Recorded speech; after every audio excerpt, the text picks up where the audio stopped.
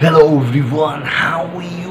Well guys, this is day 27th of our government job vocab series. In this video, I'm going to teach you five very important, crucial, significant words so that you can crack any of the government exam where English are. I have taken the words that have already been asked in different competitive exams so you can totally rely on this video. I have taken the words that is from ias pcs sse banking and other competitive exam right? So but before that welcome you all to my channel. Here we go. The first word is now. ऐसे this word is G N A W is a verb but इसको हम now now use pronouns करते हैं। यहाँ पे जी silent होता है right what does it mean यार जैसे चिकन बनता होगा ही घर में, अगर नहीं बनता, कभी खाए हो गए तो क्या होता है? कभी कभी चिकन थोड़ा सा ज़्यादा अच्छी तरह से कुक नहीं होता है। या ऐसे भी चिकन अगर तुम खाए हो गए तो क्या होता है? उसको च्यू करना पड़ता है यू नो थोड़ा ज़्यादा च्यू करना पड़ता है तो that is what that is gnaw मतलब च्यू करना इज़ एक तो हम नॉर्मल च्यू करते हैं, एक चावल को च्यू कर जल्दी ब्रेक हो जाता है। लेकिन as far as like chicken वगैरह थोड़ा सा उसको हमें ज़्यादा च्यू करना पड़ता है। उस सेंस में हम यूज़ करते हैं द वर्ड नाउ इसका दूसरा मतलब होता है, अब यार मान लो तुम्हारी गर्लफ्रेंड है। अब यार हमारे फ्रेंड बता रहा है यार तेरी बंदी तो यार उसके साथ घूम रही थी या तेरी बंदी तो उसके साथ घूम रही थी। अब तुम्हें क्या होगा? टेंशन हो जाएगी तुम्हें एंजाइटी हो जाएगी तुम वरी हो जाओगे यार। You are going to be worry too too यार मेरी गर्लफ्रेंड वो दूसरों के साथ क्यों घूम रही है? सो so, क्या है? इस सेंस में भी हम इसको यूज़ करते हैं the word gnaw N N A W. I say the word is Z N A W, but we use as a N A W as a pronunciation. What else is the meaning of या exam में जैसे exam दे रहे थे ठीक है या तुमने exam भी बहुत अच्छा किया लेकिन अनफॉर्चुनेटली क्या हुआ कि तुमने रोल नंबर मेंशन ही नहीं किया है आई I मीन mean, होता है कभी कभी यार हम बहुत ज़्यादा एक्साइटेड हो जाते हैं या एग्ज़ाम में बहुत प्रेशर होता है। एक शिफ्ट में ही इतने बच्चे पढ़ते हैं तो यार वो एक प्रेशर होता है यार कि I have to clear this exam in any way उस समय बहुत सारे छोटे छोटे मिस्टेक हो जाते हैं। क्वेश्चन जो इजी होता है, वो भी हम गलत करके आ जाते हैं। ड्यू टू द प्रेशर वहाँ पे प्रेशर हैंडल करना is not a cup of tea for everyone right so what I mean to say is इस सेंस में भी हम यूज़ करते हैं the word gnaw right second word is transmute transmute is a word what does it mean well अभी Covid nineteen क्या है? मान लो अब एक बंदा है, मान लो मान लो मेरे को कोविड नाइन्टीन था, मैं उससे रिकवरी कर गया, मैं सही हो गया हूँ। मान लो फिर से और मेरे अंदर कोविड नाइन्टीन से फाइट करने की जो इम्यून सिस्टम है, वो भी जनरेट हो चुकी है, वो भी क्रिएट हो चुकी है। अब फिर से कोविड नाइन्टीन अगर मेरे को होगा तो उतना ज़्यादा हार्म मेरे को नहीं होगा, क्योंकि already I have the protective layer और the you know fighting immune system in my body so that I can easily tackle this covid nineteen लेकिन अगर क्या हो कि कोविड नाइन्टीन अपना आपको ट्रांसम्यूट कर दे, क्या होगा? ट्रांसम्यूट का मतलब होता है अपना एक रूप, रेखा, अपनी अपनी जो बीमारी फैलाने का तरीका ही चेंज कर दे। एक अलग रूप में आ जाए, एक टोटली अलग रूप में आ जाए तो क्या होगा? फिर अगर, फिर मेरे को होता है तो वो मेरे लिए प्रॉब्लमेटिक होगा। क्यों? क्योंकि वो जो अलग फॉर्म में आया है, एक अलग, उसके लिए अलग मेडिसिन मुझे लेना पड़ेगा। उसका जो टोटली ट्रांसम्यूट फॉर्म हो गया, नहीं होता रिवैम्प हो गया, बिल्कुल अलग करके, बिल्कुल अलग तरीके से एक अलग रिफॉर्म जो होता है, एकदम बिल्कुल कोई नहीं देखते यार ट्रांसमिट नहीं होता कि एकदम अलग बन के आ गए यार। अब तुम्हारे मान लो बहुत दुबला पतला थे।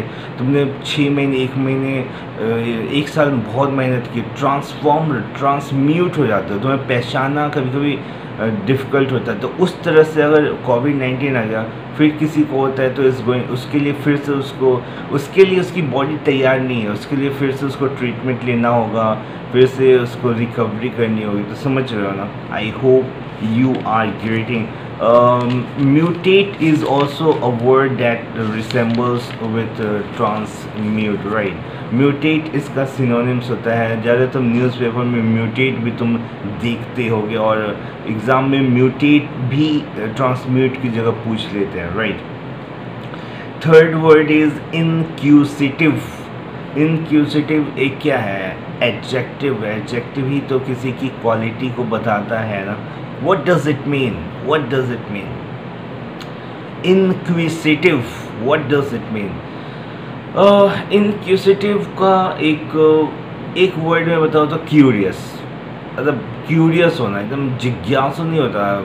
एक बहुत बंदे देखते हैं यार, कुछ बंदे यार छोटे बच्चे ज़्यादा क्वेश्चन पचास पूछते हैं, ये क्यों है? ये क्यों है? ये क्यों है? थोड़ा सा क्यूरियोसिटी रहती है। और जैसे जैसे हम बड़े होते रहते हैं, हमारी क्यूरियोसिटी फ्लक्चुएट करती रहती है। मतलब it's not just about study it could be like जो कोई गर्ल्स के बारे में पचास पूछता है, कोई फूडिंग के बारे में पचास पूछता है, कोई तो हर इंसान में किसी ना किसी चीज़ को एक एक इंक्यूजिटिव तो होता ही है क्यूरियस होते हैं राइट तो curious is the right word as far as the meaning of inquisitive is concern right fourth word is linen linen is a noun what does it mean L I N E N. What does it mean?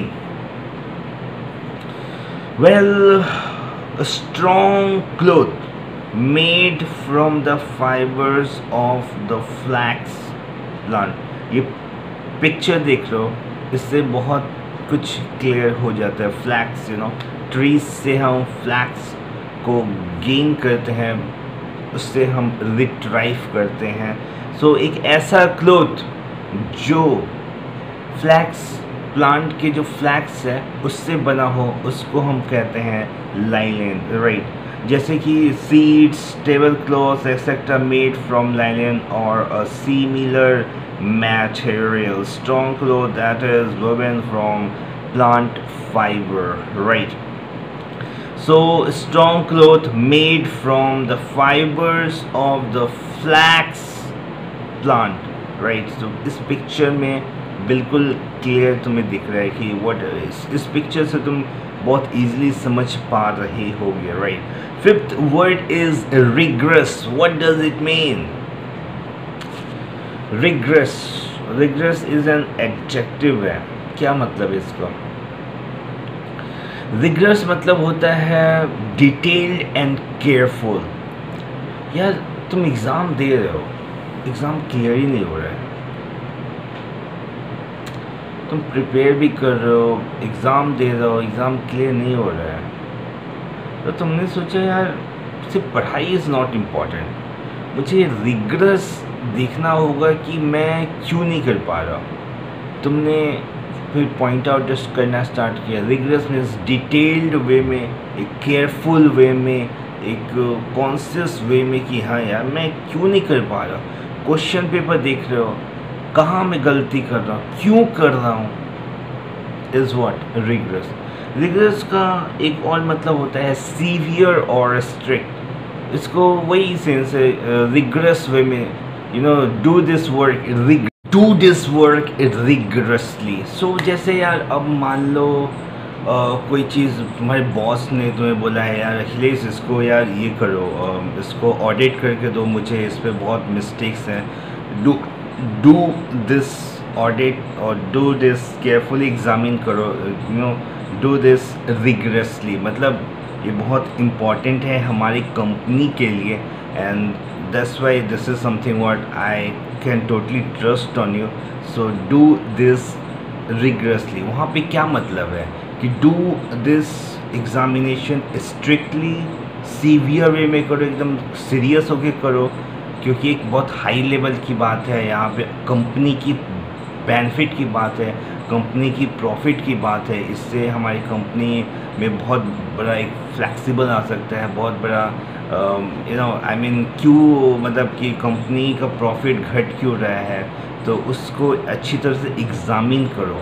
अच्छी तरह से regret अच्छी तरह means what rigorously मतलब एक strict होके stern होके मतलब एक अच्छी तरह से यू नो क्योंकि इस मैटर ऑफ़ कंपनी प्रॉफिट तो उस सेंस में भी हम यूज़ करते हैं द वर्ड रिग्रेस बहुत लोग बहुत स्टूडेंट रिग्रेस और विग्रेस में कंफ्यूज uh, होते हैं. Vigorous means strength power stamina की बात करते हैं. वहाँ पे हम uh, मतलब पावरफुल होने की बात करते हैं. वहाँ पे इनक्रेजिंग अब कोई विग्रस है मतलब बहुत एजाइल है, बहुत बहुत फ़िज़िकल स्ट्रेंथ है स्ट्रॉन्ग है मतलब बहुत अच्छा है स्टेमिना अच्छा है, उस सेंस में लेकिन जब हम रिग्रस की बात करते हैं तो यहाँ पे हम स्ट्रिक्ट की बात करें स्ट्रिक्ट मतलब स्ट्रिक्ट मीन्स क्या होता है कि this teacher is very strict मतलब बहुत कानून मतलब हर चीज़ को बहुत